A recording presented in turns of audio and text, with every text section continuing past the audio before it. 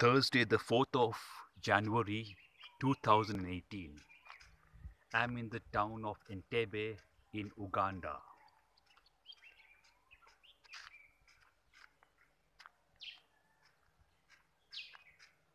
Staying at the Gorilla African Guest House.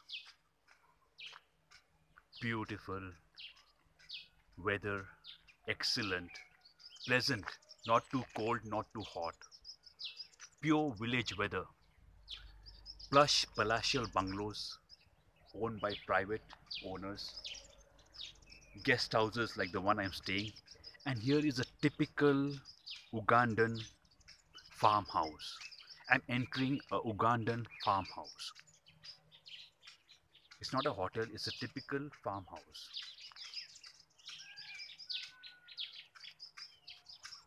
Banana plantations, within the estate of the farmhouse. Mango trees. Two cows to provide milk.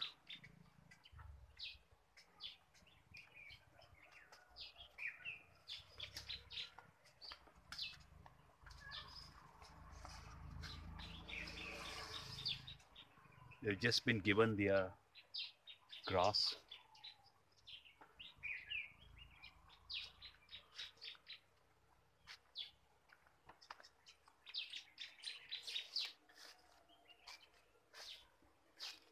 Uganda is very rich in fruits, pineapples, jackfruits, mangoes.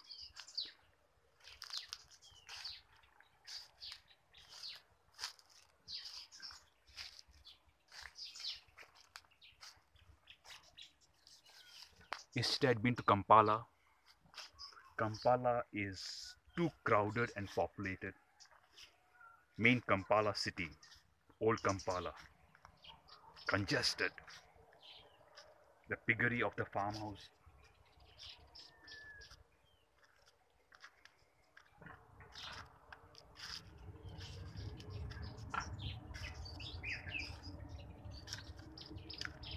Birds chirping. Indescribable beauty.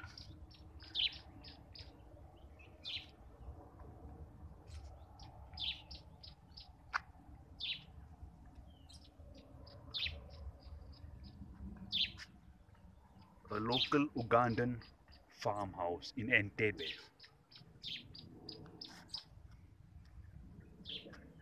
The state house of the president of Uganda is also in Entebbe and there is no need to understand the reasons.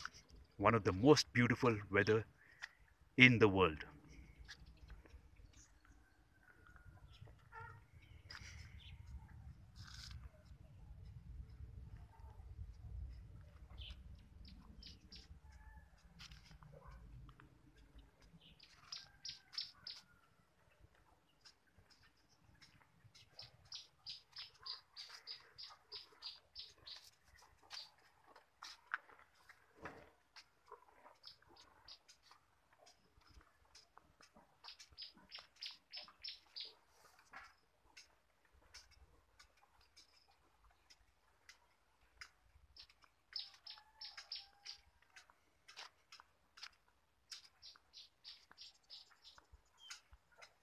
The weather the weather is just amazing.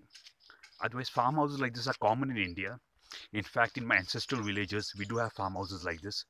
So it's nothing special about the farmhouse but the weather is just unique unique weather. Unique weather. Pure village country living. The weather the weather is making the difference. Otherwise farmhouses are something common in among the wealthy in india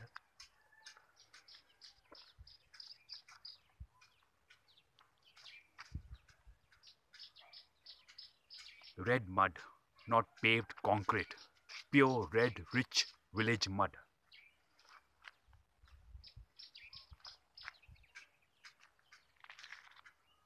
The weather reminds me of England during summer, cloudy weathers.